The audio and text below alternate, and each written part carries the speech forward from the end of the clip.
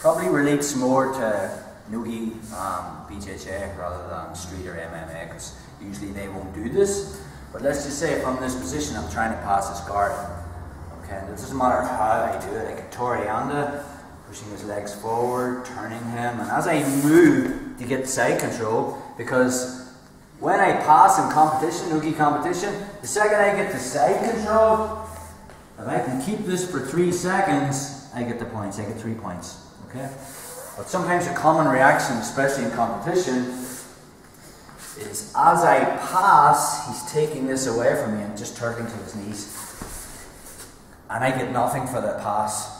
Okay? And then if he's got really good guard retention skills, he might roll over the shoulder, put me back in the guard.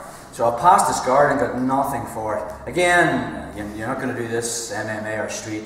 People aren't going to do that, but we have to be um, aware of dealing with this. And probably this is the most high percentage and fundamental back take there is in jiu-jitsu. If you if you go, um, if you're into watching your BJJ competitions, this happens all the time. This setup. So from this position, when I make my grips and I make Matty eat his knees, because it's hard for me to pass his legs. Again, we'll, we'll go into guard passing maybe in a, in a, in a different mesocycle. It's hard for me to turn him because um, his back's flat on the mat. So all I want to do is, is, get his lower back off the mat. So it's like turning the steering of a big bus. So from my position, I, I push his hips forward and I'm turning him this way to create the space for me to enter. But as I try, I could possibly go to knee on belly, whatever, but as I try to um, get side control, he's already turtling. So my right hand is controlling this hip to slow the turn down. My left hand pushing the mat, and I just slide my left knee behind down, or into his hip here. And as he turtles, I'm just shooting in my first hook. Okay? My right hand slowed the whole process down. I lock harness control, and I'll tilt them back. And now we're in the same position again. So, stay there, bro. Cameraman can't move. Okay, so we're here in our position. Nice. Going to do the same setup again. Okay, so from here, he has baseball bat control. My left hand releases and grabs that wrist. Okay, this time when I went to go for the may I help you, and I done this, Matty hit his finger. Keep your grip, bro. And like last week, he turned. He turned his. See the way he's turned. Go back again. He turned his little finger away. So when he turns that wrist like a reverse motorcycle grip, I can't even get my grip now. But now I go for the wipe off grip, which we showed you last time. There's his thumb. I make a palm heel. I just bulldoze his thumb from this side of my wrist to this side of the wrist. And then I get my special grip again on the fat part between the little finger and the wrist. And now I'm going to bug his neck again. I try to sell the choke. When I feel him pulling down, he just flop this hand straight out, cover it, and hide it behind his arse. Now, all he has is a tuck chin. I have two ways of dealing with this. I can dig it in or slice it in. So I make like a palm heel and I put this part of my wrist underneath his chin and I just dig it in. So I just do one, two, just till I get that little bit underneath his chin. Okay? Then I flatten my hand, I slide it onto his shoulder, and then I lift my wrist up, and then I punch it through. Okay? So I've got the crook of my arm right underneath his chin. My right bicep is cutting off his right jugular. My left forearm is cutting off his other jugular. And we'll, we'll finish it there because next time we'll show you how to finish the choke. There's a variety of things I can do from that position. So go again from the pass. Flatten his back.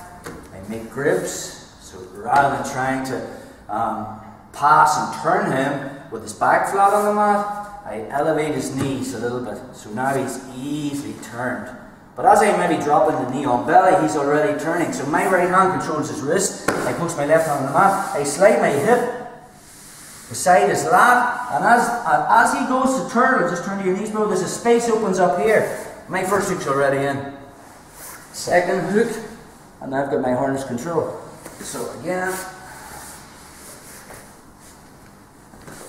from our position, He's got baseball bat control. I release my wrist and grab his wrist.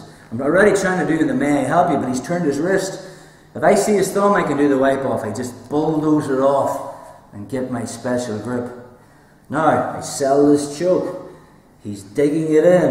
When I feel the momentum really pulling on that arm, I just flop it out and do my tricky bait. Comes over the top, hide it behind his arse. If he tries to kick off that bottom hook, I'm already using my lock-in position. I can keep this foot free, or I can even cross my ankles here. Now all he has is a tuck chin. So, this part of the wrist comes underneath, and I just dig it in till I just get the small part of my wrist underneath. I'll punch this through, then I flatten my hand and I raise my wrist up, and now I just punch my arm all the way through. So I've got my bicep behind his jugular and my forearm behind his other jugular, and my right hand just grabs the bone on his left shoulder. Okay? That's the dig in method. The slicing method, fuck your chin, bro. I just make two fingers and I start behind his ear. This is not nice. From there, I just slice it in, keep your chin really tucked. Comes all the way around. And it comes, make my grip again. My goal is to get my elbow underneath his chin. Okay, one more go. When you're finished drilling this, you'll be going home with a big red neck tonight.